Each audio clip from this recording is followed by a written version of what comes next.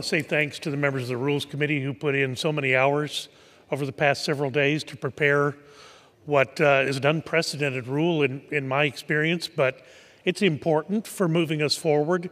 So, the members of the Rules Committee who put in the long hours this weekend uh, certainly want to thank the members of that committee and the staff for working so hard. We're going to get this underlying legislation to the floor. It's important.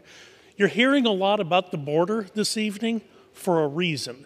A lot of us have studied the problems at the border for several years, but I'll just tell you, it's never been this bad.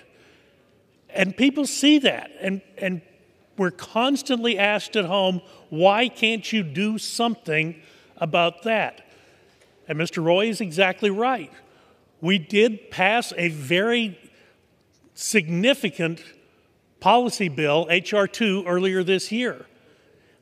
But it does no good to continue to fund if the administration is not going to enforce the law, even a current law, but enforce the law that, which is essentially the will of the Congress.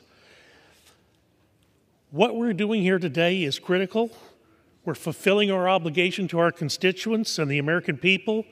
We're going to fund the government in a responsible and fiscally sound manner, as opposed to this business as usual stuff that's been going on for several years where Congress is expected to rubber stamp what comes over from the Senate, rubber stamp what's asked for by the president.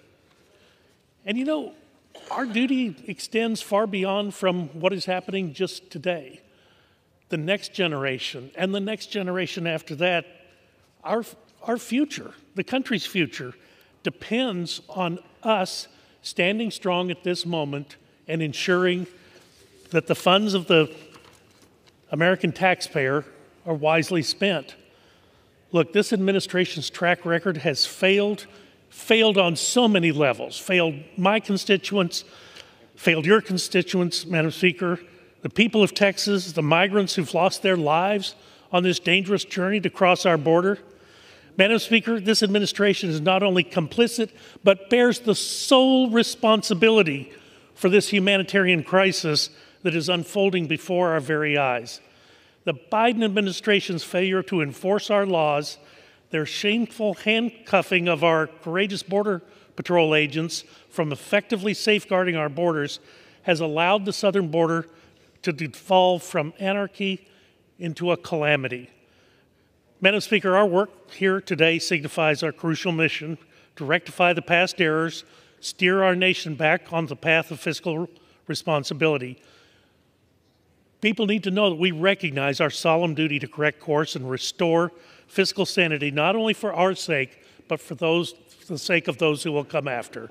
Thank you, Mr. Roy, and I'll yield back my time.